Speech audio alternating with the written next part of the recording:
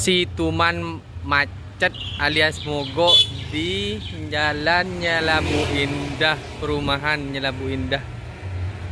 Ah, ini penampakannya. Ah, dan ini pemiliknya. Kuryadi namanya. Nih, mogok. Mikirin mobilnya nih. Mogok. Ya. Mas, kenapa mobilnya kok mogok, Mas? Mas.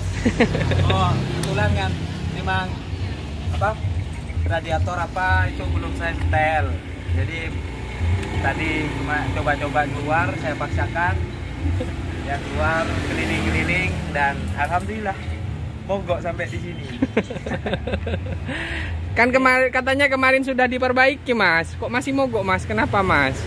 Bodinya yang diperbaiki itu bodinya sekarang tinggal karbu itu belum, mesin-mesin belum. Eh, jadi belum di setel cuma tadi keluarnya itu dipaksakan jalan.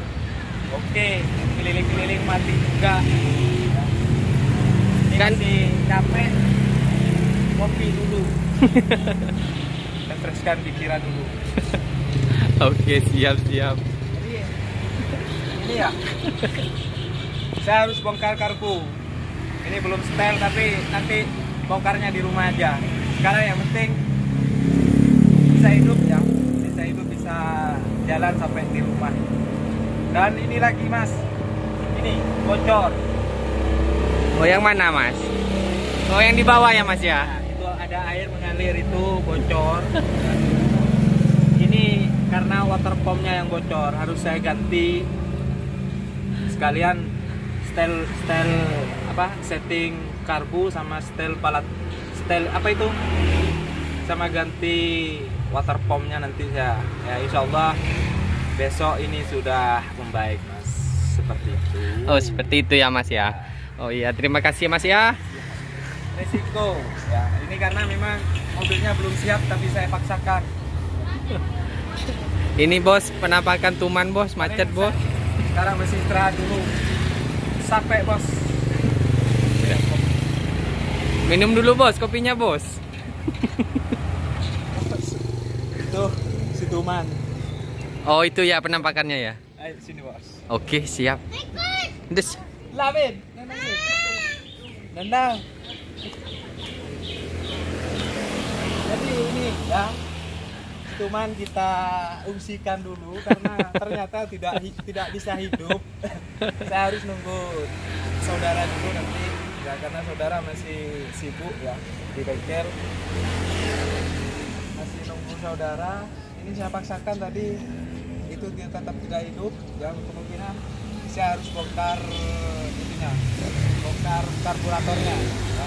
karena memang untuk karburator itu tidak saya setting ya. Mulai hampir satu tahun sudah mulai ini di- dibongkar-bongkar tidak pernah saya setting langsung saya coba saya paksa tadi keluar meskipun apa bawaannya itu kurang enak cuma saya paksakan dan akhirnya ini mogok mogok di sini ya jadi untuk sekarang mungkin saya tidak bawa pulang si Tuman dulu saya fungsikan di sini dulu saya titip di saudara Di mana, Bos?